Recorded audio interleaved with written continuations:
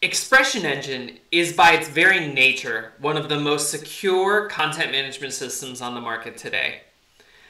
With that though, still comes a few things that we can do in order to make sure that our EE install is very, very secure. And one of the key things that we can do is to move our system directory above webroot. Now, if you're not very technical, that may sound like absolute magic, but we're gonna walk through it step by step to see what we need to do to make our ExpressionEngine installation even more secure. So with that said, let's build. So in general, when you look at the way that ExpressionEngine is set up, this is probably what you see. You have your, um, your system directory, your themes directory, your admin PHP, and your index.php files. All are kind of sitting in one directory, which makes it really easy to get started. However, when all of this is sitting on a server and your website is pointing toward this folder saying, look here for content, that may expose some of those folders that you don't want exposed to web users or even worse, hackers. For example, if I'm pointed toward this folder and I wanted to say, well, I'm just going to try and look inside the system folder by putting system up here in the URL. All of a sudden, I'm in my admin folder. Now, granted, I'm logged in, but still, it makes it way too easy for people to get into places that they should not be. So what we're going to do is we're going to move some of these files around according to one of the post-installation best practices that ExpressionEngine has defined in order to make sure that our EE install is very, very secure.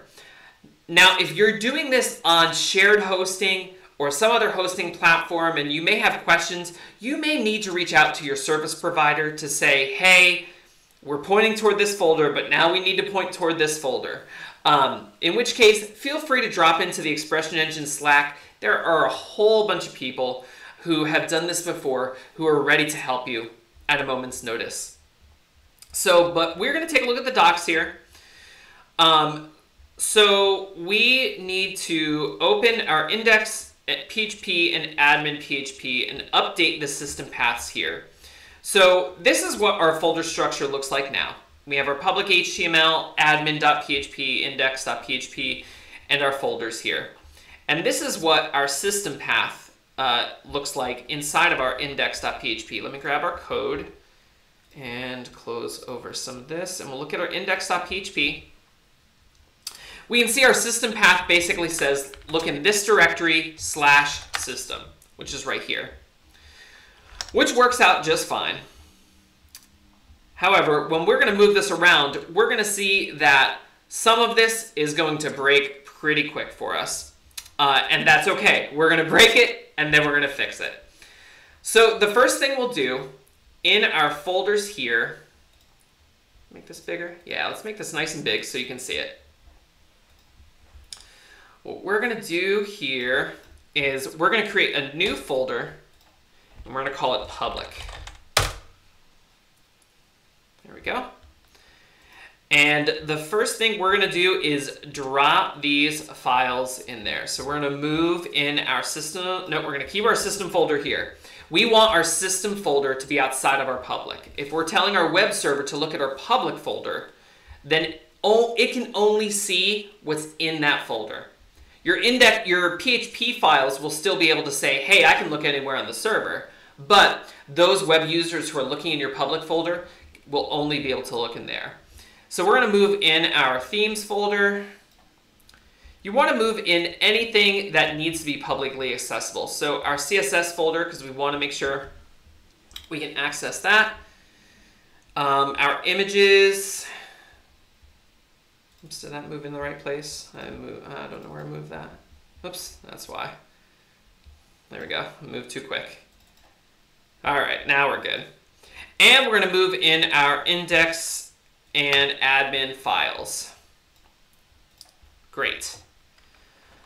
So now when I go back to my home page and refresh, I see that our system folder path doesn't appear to be set correctly. So right now my server is looking at that public folder and looking at that index.php file, but it's saying, it's throwing an ExpressionEngine error saying that this folder no longer exists because it's looking for, um, let me close that and open the updated one. So I'm in our public folder, index. So right now it's saying look in this directory, which is our public directory, slash system. But that doesn't exist anymore. It needs to go outside into our system directory. So for our purposes, I need to tell it to look outside, which for the system I'm on is two dots, system. And so when I do that, now I've got my site back. All right, so when we look at our admin.php, we see we get the same error. So we're gonna go back into our code and do the same thing for admin.php and refresh the page. And now we have EE up and running, working good in the back end. You'll see too that we've got a warning that says one or more core files have been altered. This is a security measure that ExpressionEngine puts into place to say, hold on, something major has changed. So we're just going to accept that change. And we are back up and oh, back up and running. What did I do to break? Oh, let's our, our second dot back in. There we go, and our site's back up and working. So, like I said, it can be a little bit tricky. There are great instructions that are set up here um, in the docs. And then if you run into any trouble at all, you should talk to your service provider who is hosting your server, um, or jump on the ExpressionEngine Slack and ask question in there. This is a really important step that every user should take on their site to make sure that their ExpressionEngine setup is installed and secure. Oh, hey, and just to test our security, let's try our system trick again. So if I go to system, boom, now we get the page we requested was not found. It's going to tell me I'm 404ing, uh, which makes it, which shows us that we are a little bit better off. Okay, one more important thing that I missed here uh, that I need to do. Once we move our system directory out of the web root is we need to take a look at our file upload directories. Now, when we go to our files, we take a look and we see that all of our blog stuff is gone. And it's not really gone, it's that we have to adjust our upload directories. So if I go here to our upload directories, whoops, let me go to the pencil to edit. Oh wait, actually, let's go back there because you can see it. So uh, if I click on blog images, you say cannot find the directory and it tells the old directory that we were looking at. So I need to go to the settings here by editing.